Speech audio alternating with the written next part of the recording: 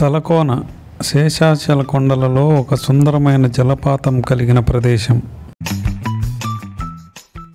ఈ కొండలలో ఉన్న కోనలకే తలమానికమైనది కాబట్టి తలకోన అని పేరు వచ్చింది.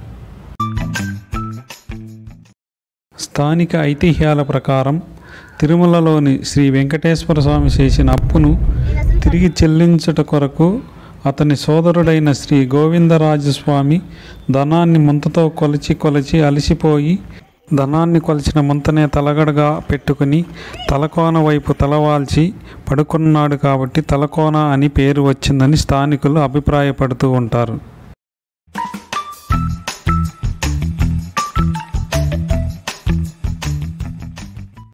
వాహనాలను పార్క్ చేసే ప్రదేశానికి సమీపాన ఉన్నటువంటి ఈ కొలనును గొడుగుల రేవు అంటారు. జలపాతానికి వెళ్ళలేనటువంటి వారు ఇక్కడ ఉన్నటువంటి కొలనులో పవిత్ర స్నానాలు ఆచరిస్తూ ఉంటారు.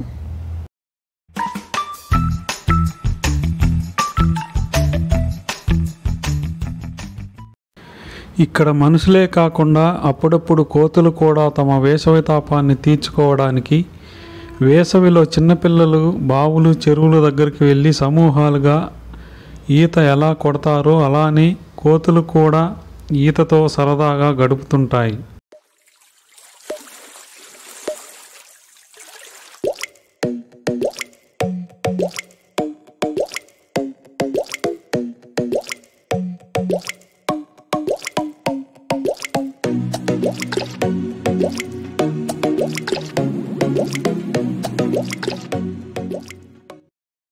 గొడుగుల రేవు నుండి జలపాతాన్ని చేరుకోవడానికి సుమారుగా ఒకటిన్నర కిలోమీటర్ మేర ఏటవాలుగా ఉన్న ప్రదేశాన్ని ఎక్కవలసి ఉంటుంది.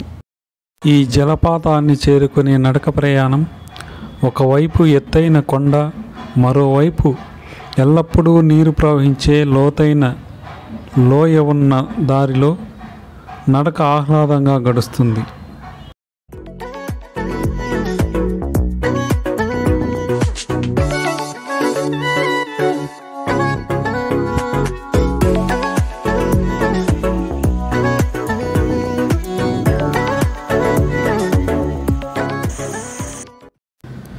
కొంతమంది పిల్లలు పుట్టిన వారు జలపాతానికి సమీప ప్రాంతంలో ఉన్న చెట్లకు నాణేలను ఉంచిన గుడ్డలను ముడుపులు కడుతూ ఉంటారు.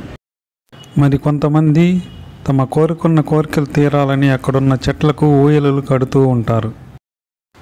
పెళ్ళిళ్ళై పిల్లలు పుట్టిన వారు ఒక చిన్న గుడ్డలో రాయిని ఉంచి ఆ రాయిని సంటి బిడ్డగా భ్రమించి చెట్టుకు ఊయల కట్టి ఊపి ఆ తరువాత ఇక్కడి పుణ్యతీర్థంలో స్నానమాచరించి శ్రీ సిద్ధేశ్వర స్వామి వారిని దర్శించితే సంతానం లేని వారికి సంతానం కలుగుతుందని ఇక్కడి స్- స్థానిక ప్రజలు బలంగా నమ్ముతారు. ఇలా మొక్కుబడితో పుట్టిన తమ పిల్లలకు సిద్ధేశ్వర స్వామి పేరు కలిసి వచ్చేటట్లు సిద్ధమ్మ సిద్ధయ్య సిద్ధారెడ్డి సిద్ధేశ్వర సిద్ధప్ప అని పేర్లు పెట్టుకుంటారు. సిద్ధోదర తీర్థం అని పిలువబడే ఈ జలపాతంలో ఉండే నీటిలో అనేక రకాల వనమూలికలు కలవడం వల్ల ఈ నీటికి ఔషధ గుణాలు ఉంటాయని ఇక్కడ స్నానం ఆచరిస్తే కొన్ని రకాల వ్యాధులు కూడా నయమవుతాయని స్థానికులు విశ్వసిస్తారు. తలకోన ఎన్నో జీవ జలపాతాలకు నిలయమైనది. తలకోనలో ముఖ్యంగా శిరోద్రోణ తీర్థం సిద్ధోదర తీర్థం మరియు నెలకోన అనబడే మూడు పవిత్ర జీవ జలపాతాలు ఉన్నాయి. ఇక్కడున్న జీవ జలపాతాలలో ఎలాంటి కరువులోనైనా నీరు ప్రవహిస్తూనే ఉంటుంది కాబట్టి దీనిని జీవ జలపాతం అంటారు. సాధారణంగా అందరూ వెళ్ళి పుణ్యస్నానం చేసే ఈ జలపాతాన్ని సిద్ధోదర తీర్థం అంటారు.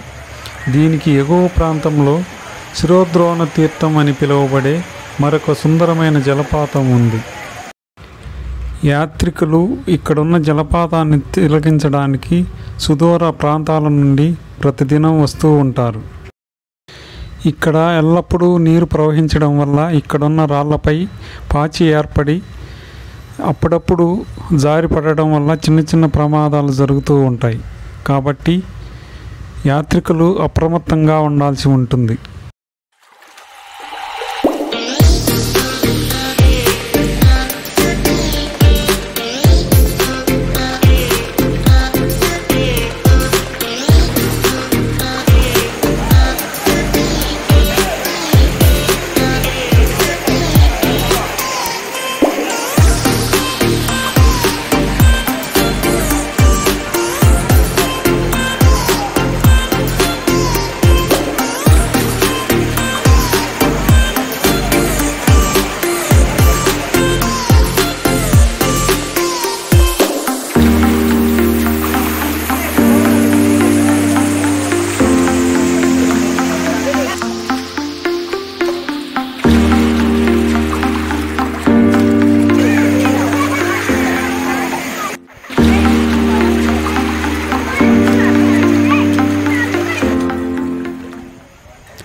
తలకోనలో ఉన్నటువంటి ఈ సిద్ధోదర తీర్థానికి సమీపాన ఉన్న గుహలలో దొరికిన శాసనం ప్రకారం సుమారు ఐదు వందల సంవత్సరాల పూర్వం నుండి కూడా ప్రజలు ఇక్కడికి వచ్చి ఈ సిద్ధోదర తీర్థంలో పవిత్ర స్నానాలు ఆచరించేవారని తెలుస్తోంది.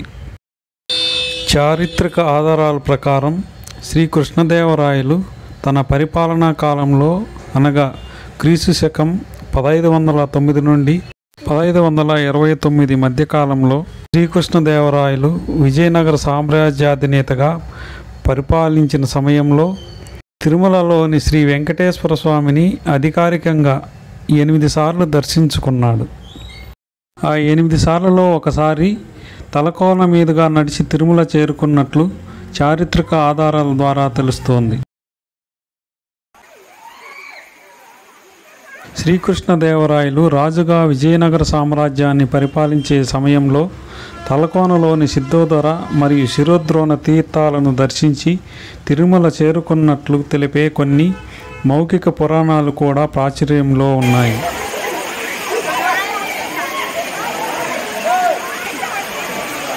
క్రీస్తు శకం పదహైదు వందల ఇరవై సంవత్సర కాలంలో శ్రీకృష్ణదేవరాయలు ఇక్కడున్న సిద్ధోదర తీర్థంలో స్నానమాచరించి ఈ సిద్ధోదర తీర్థానికి సమీపాన ఉన్న సిద్ధగుహలలో ఉండిన శివుని దర్శించుకుని తిరుమల చేరుకున్నట్లు చారిత్రక ఆధారాల ద్వారా తెలుస్తోంది. దీనిని రుజువు చేయడానికి రామలక్ష్మణుల మాండ్ల దగ్గర నుండి కుడివైపుగా ఉన్న పాతదారే నిదర్శనం. ఈ దారి వెంబడి ఆనాడు కట్టిన రాతి మెటికలు మరియు రాతి చెప్పళ్ళు ఇప్పటికీ కనిపిస్తాయి.